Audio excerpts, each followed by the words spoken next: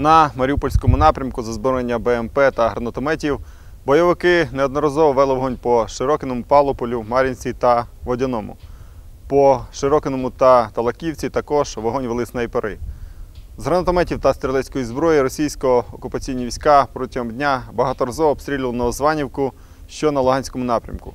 На Донецькому з 82 мм мінометів Луганське, а стрілецької зброї Зайцеве та Луганське. Загалом, станом на 18 годину відбулося 23 обстріли.